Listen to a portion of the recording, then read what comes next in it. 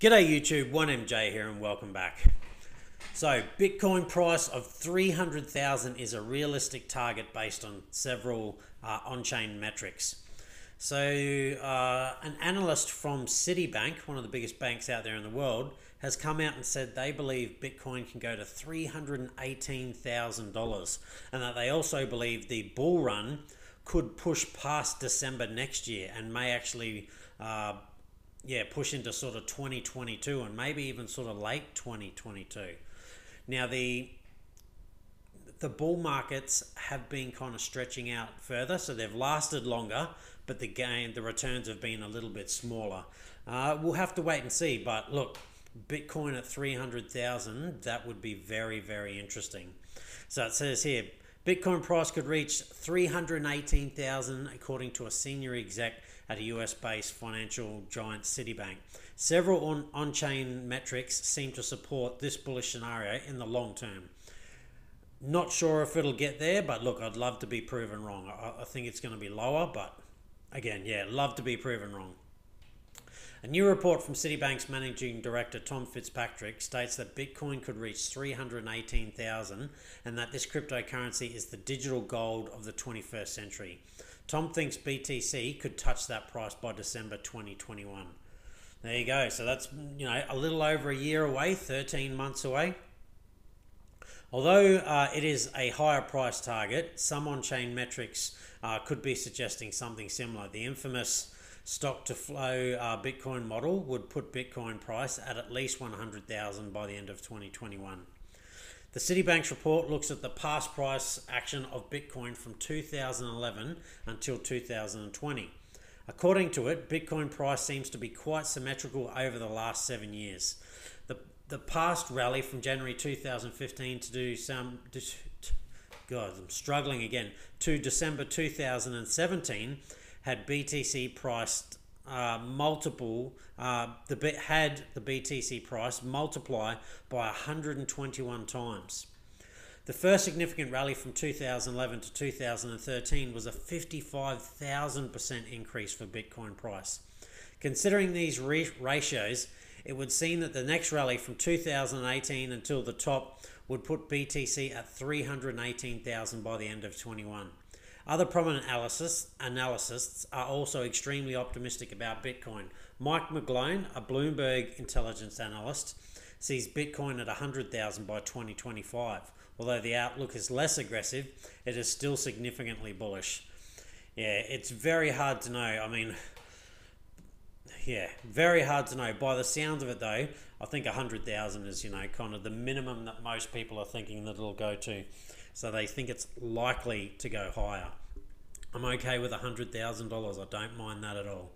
All right. Something that's really depressing. So Coinbase goes down as Bitcoin nears 17,000K. You know, we've got all this regulation and stuff happening uh, within the cryptocurrency space. This needs to be looked at. This is, it's like clockwork. Coinbase will go down as soon as Bitcoin starts to push a little bit too high. That is not what free markets are about. They really hinder the price, and I can only assume that there's an agenda behind that. Uh, you know, exactly what it is, I don't know. Maybe really rich people are telling, uh, you know, Coinbase to you know keep the price down so they can accumulate as much as they can before the bull run really gets going, or there's something for them that's in it. I really don't know, but all I know is it is literally like clockwork. Bitfinex was exactly the same. They would just go down. So them and uh, Coinbase. How can you know Coinbase especially be this massive company, and every time Bitcoin starts to push a little bit too high, it goes down uh, and then halts it all. I don't have. Uh, I don't use Coinbase. I did have an account once. I never really used it, and now I just straight out refuse to use it uh, based on this. They are really disappointing and annoying would probably be the best way. I, yeah, I, I would love to know why it is that they have to keep going down. What is it that they're doing? Because they're going to say, oh, it's some technical thing, blah, rubbish. Absolute rubbish. Absolute garbage. It is not that because it systematically happens.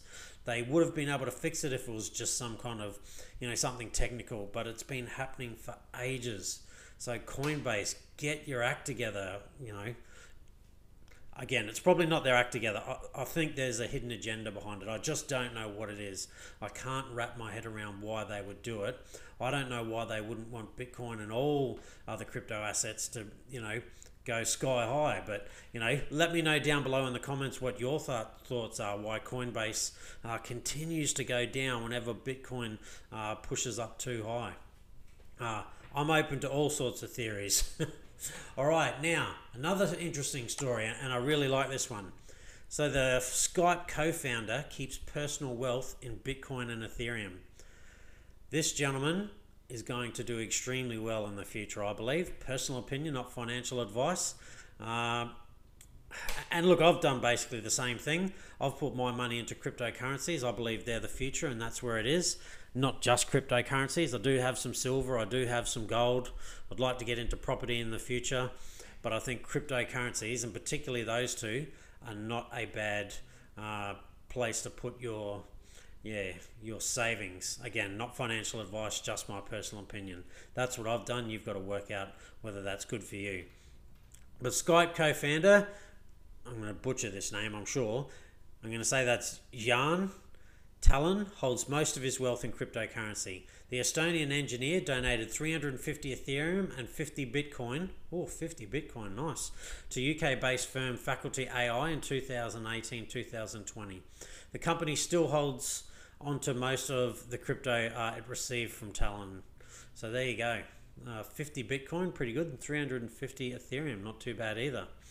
Uh, personal wealth in cryptocurrency as and had been for some time now. Uh, since Skype was sold to eBay for around $2.6 billion in 2005, uh, Tallinn has not launched any new enterprises but has invested in many. yeah, there you go. $2.6 billion. I mean, he's a co founder, so I'm guessing he didn't get all of it. But I'm saying, oh, sorry, I'm thinking that, yeah, he wouldn't have to do too much. He could just live a life of uh, investing in nothing else. He wouldn't have to build anything else uh, unless it was a sort of passion for him. Um, one of them was Faculty AI, a London based company focused on machine learning systems which received digital assets from Talon, Uh, Tallinn on at least two occasions. So there you go. He's putting even more money uh, into cryptocurrency, but like startup projects and things like that. And it sounds very uh, reminiscent, sort of, of Roger Ver. You know, he started Bitcoin Cash and they're having all sorts of problems, and we're not even going to go into that. But he made a ton of money from Bitcoin Cash, and he has invested heavily into almost anything in the crypto space from sort of 2017, 2018 uh, he was invested in. And I'm sure he's still investing in things now because, you know, those projects that he got into back then have probably done amazingly well. And he'll just continue to do really well. Even if Bitcoin Cash uh, is to fail and it's having all sorts of issues, uh, he doesn't have to worry. Uh, he, he's well looked after uh, and, yeah, well uh, ingrained in cryptocurrencies full stop. So yes, he's the Bitcoin Cash guy, but he invested in a ton of other things. And I can't remember exactly what they are anymore, but it was basically everything. You name it, uh, he had a hand in it. All right, let's go over to the market cap. Have a look. Have a quick refresh. Says 300, 483 billion dollars there.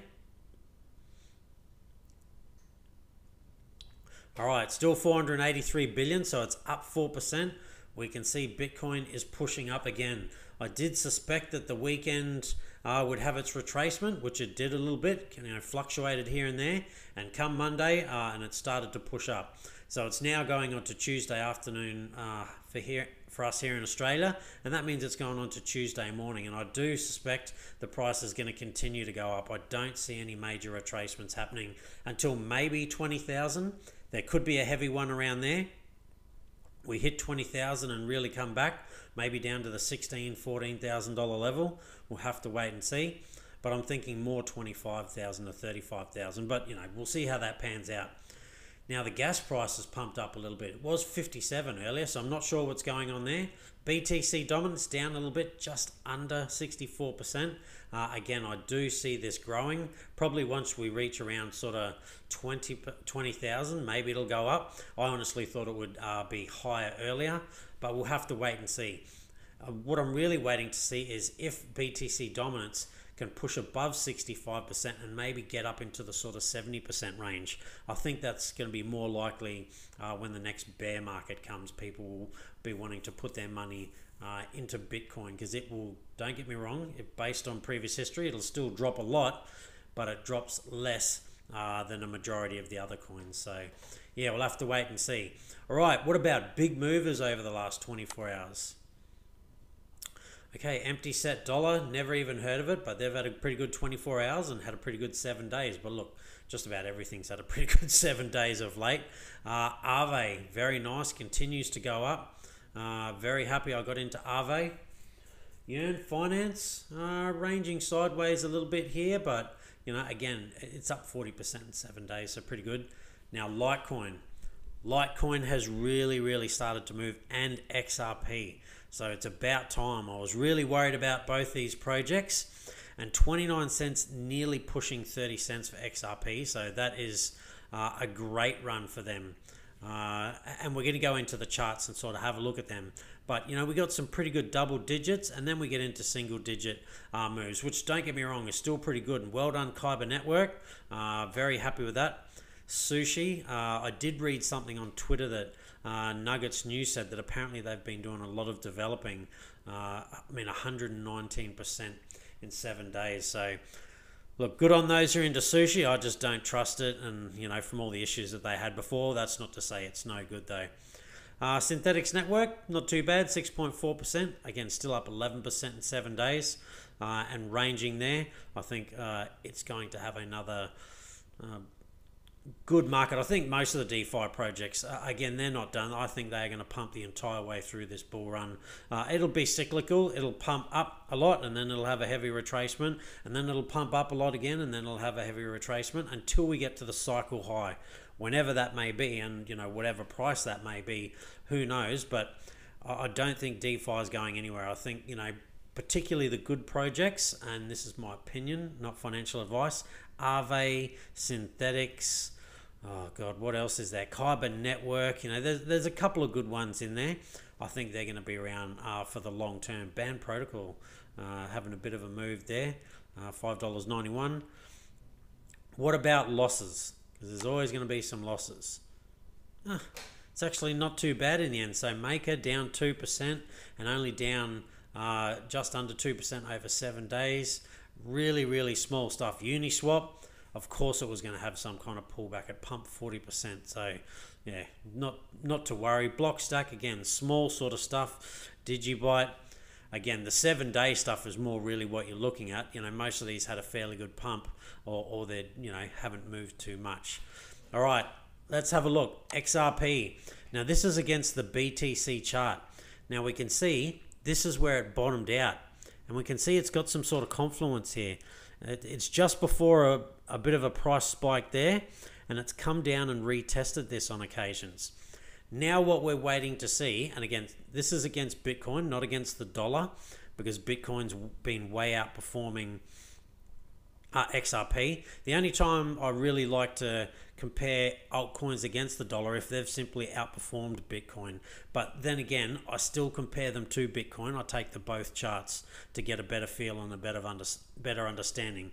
Because if we compare Bitcoin against the dollar, then why would we compare an altcoin that's well outperforming Bitcoin against Bitcoin? You may as well compare it against the dollar at the same time, and it'll give you a better feel for uh, the charts on both the dollar value and the BTC value. But again, Bitcoin's way outperformed XRP, so we're going against uh, the Bitcoin chart. And again, we can see it came down, touched here, dropped a little bit lower, pushed up, and it hasn't been back here since December 2017. We can see it's just had this big sort of bear market uh, against Bitcoin, and then we've come down and just again we can now raise this up, so that really should be around about there. Stop there for me. All right, so now what we're waiting to see is if this is going to hold. Again, it's got some confluence here. It's been here support uh, before. Uh, what's been resistance uh, has become support, uh, and vice versa. So we can see that twice it's kind of touched down here, touched down here, bounced up, touched down here, uh, tested it again and now has bounced right up. And now we really have to wait and see what XRP is going to do. But if we go back here and we go back and see XRP, 18% in seven days. That's pretty good. And again, we haven't seen XRP at 29 cents uh, for quite some time. So we're just waiting to see how it does and whether it can outperform uh, the granddaddy. Now, don't get me wrong. I think Bitcoin's uh, going to continue to move and has got, has got a bit more in it. Litecoin. I did talk about this just the other day. I said, have we hit the bottom down here uh, against Bitcoin? Because uh, it had that little pump up, and then I was like, are we going to retrace and pump up again? And that's exactly what we've happened. And I, you know, I suspect that this is going to continue. Litecoin is an oscillator, and I think a lot of this has to do with PayPal. Again, cryptocurrency is now available to PayPal users in the US, and eventually it will be worldwide. Uh, they opened it up to uh, the Americans very quickly because, again, they saw the the exuberance from it. Uh, and how much money Cash App was, uh, Square Cash App and things like that were making. So bang, straight away within a few days, it's only been out a few days, and look at this. People are going to go to PayPal and they're going to see uh, Bitcoin Cash costs $200 to buy one. Okay, Ethereum, it costs 400 and something dollars to buy one. Bitcoin, okay, it costs, you know, $16,000 to buy one. It's human psychology. They're simply going to go for the cheaper one uh, hoping that it'll do the same. And look, I think Litecoin uh, has got a good future ahead of it because it's really like Bitcoin and because it's been regulated uh, by by the SEC and all the rest of it, and banks are allowed uh, custody and all the rest of it. That has made it right there. It is going to do well, in my opinion, uh, and I, I think it's going to be around for the long term because it basically is Bitcoin. It's a little bit faster. There's more of them, uh, and it it's a bit of a test test net for Bitcoin, which is which is a bit disturbing there because if Litecoin uh, Litecoin could fail one day if it puts out something that doesn't work, uh, but really again that's what it really does is it tests things. Uh, SegWit and all the rest of it. Now it's got Mimblewimble going, and that'll probably uh, move on to Bitcoin at some t- stage in the future. But I see Litecoin uh, as being something that's going to stick around because again it's decentralized no one really owns it it really is a copy of bitcoin just a little bit faster and there's more of them there's 65 million litecoin available but it's got 85 i think 80 million or 85 million let me have a look Litecoin, what do we got? I think it was 80 million, 84 million. There we go. We got 84 million circulating supply. So there's still about 20 million uh, Litecoin to be mined. And that's what makes me think big business are going to have a real hot crack at Litecoin because it's like Bitcoin, uh, but it's not really late in the piece where there's not too many left. Don't get me wrong, there's a lot of Litecoin that's been mined already, most of them, but still 20 million to go as opposed to Bitcoin's only got 2 million uh, Bitcoin to go. So I expect institutions are going to start to heavily get invested in Litecoin because it's early enough that they can get a really good foothold and for a really cheap price. Don't get me wrong, I don't think Litecoin uh, is going to price appreciate to where Bitcoin is. It's not that it couldn't ever, it's just unlikely, but I think there's still massive upside for it, and I think institutions are going to get on board. Just my personal opinion. All right, last but not least, let's have a look at the Bitcoin chart. And I did say the other day, you know, we broke out and I expected us to come back and test this line here, but then I thought we would bounce. And hey presto, what have we done? We bounced. And now we're back here around this kind of $16,600 range. Look, it is possible that there's going to be a heavy retracement. Previously, there's been, you know, 30, 40% retracements uh, a number of times. I just don't think it's going to happen at the moment. I think if we are to get a, get a heavy retracement, it's going to be once we reach the all time highs. But let's have a look here at the moment. If we were to have a heavy retracement from here,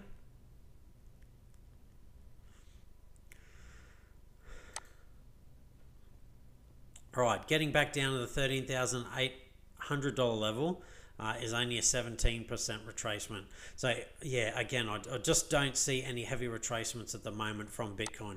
I think there's too much institutional money getting in. Uh, and I heard something the other day that there's another really big company that's just filed um, papers with the SEC saying they wanted to get get into Bitcoin. Uh, and again, the really big institutional buyers, they have to get permission to do it first. And they're still coming. So that's what makes me think we won't see any major retracements anytime soon. I think, you know, maybe at sort of 20,000. So I think maybe at 20,000 here. And so we'll scale out so we can see this. It's definitely possible we could get uh, a retracement here and maybe a big one. Again, if we were to retrace from 20,000, it was roughly thereabouts, 19,000 sort of 500. There we go. Uh, and come back to the $13,800 level.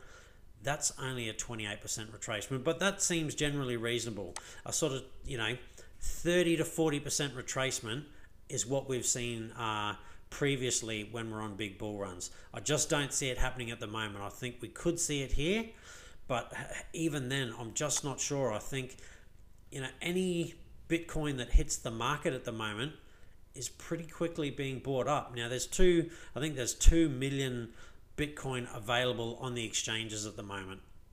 Now that's just the exchanges.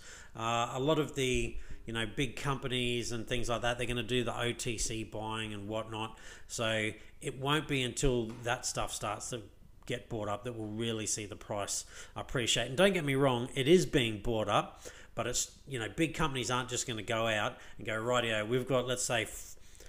$45 million we want to invest in Bitcoin and go to Binance and buy 49 uh, million dollars worth of Bitcoin in one big hit. It'll push the price up too high. They know that. Everyone's aware of the MicroStrategy uh, investing uh, method. I 100% believe it is being copied. Uh, it is being played out by a number of uh, big investors at the moment. So they're just buying small pieces, bit by bit by bit by bit by bit. Yes, the price will continue to go up, but not like if they just put in one order for $45 million worth of Bitcoin.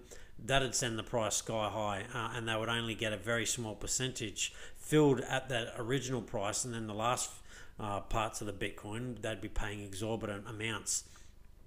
So it's small amounts that are being bought every 50 seconds, I think, is what MicroStrategy did. And that is why. Sorry, fix this up. And that is why this just continues to go up. And I don't see it coming back anytime soon. And no major retracements because anytime it drops down low enough, someone's buying it. And that's exactly what I'm doing at the moment. Like, you know, a dollar cost average, if Bitcoin, uh, it doesn't matter what price Bitcoin is doing. I'm buying Bitcoin all the way to 20,000 as long term hodl. I don't plan on selling any of that. After 20,000, it will all depend on what the cycle high is because I'm not going to try and time it exactly perfectly. I'm just going to get to certain points and I'm going to sell a little bit and sell a little bit and sell a little bit. And again, let's say I see it at 300,000. You know, let's say it makes it to 300,000.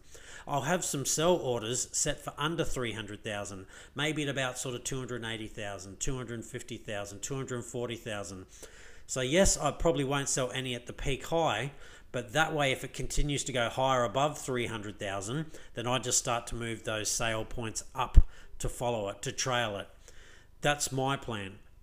Is I don't know exactly what the top price is going to be, but once it gets to uh, above, uh, again, really, I'm thinking about a hundred sort of thousand, 150,000. I will start to have, uh, I will start to scale out uh, minor, you know, percentage points of the Bitcoin that I'm willing to sell. Again, so whatever I have, I'll say 10% of the Bitcoin that I'm willing to sell, uh, I'll sell at 100,000. and again, this is just kind of rounding it off. It probably won't be that. Uh, it could be uh, a lot lower or a lot higher, depending on where we are. It's more a time frame. It's more around that September, uh, December time next year that is really when I'm going to start to sell. Uh, it's not to say I won't sell any before. I may take some profits earlier, but I just know that that's generally going to be you know, based on previous history, where the cycle high is likely to be. It's not guaranteed. It could be a little bit earlier. It's more likely going to be a little bit later. Again, the the bear the sorry the bull markets they're getting longer and they're pushing out. So it may not come till you know 2022. I'm thinking more September to December 2021, but yeah, we'll wait and see. So yeah, no, I don't see any big retracements coming until maybe we get up around about here. And look, it might come a little bit earlier. Again, it might be sort of 18,000, you know, where we see a fairly big retracement, and again we pull way down to here. Definitely possible. I just, I think it's unlikely. All right, love to know your thoughts uh, on, you know, what what are your price points that you think you're going to sell out? Uh, not sell out, start to sell and take some profits, or are you just simply a 100% long term holder? What are your thoughts on Coinbase? Do you think there should be an investigation into these guys? Uh, I definitely think there should. The regulators should have a look at this. I think it's price manipulation um, and market manipulation, but that's just my personal opinion. And what about the Skype co founder keeping his uh, fortune in Ethereum and Bitcoin. Do you think that that's a good idea and would you copy uh, and follow suit? All right, stay safe, be kind to one another, hit that like and subscribe button down below. I hope you're on that gain train, and I'll see you next time.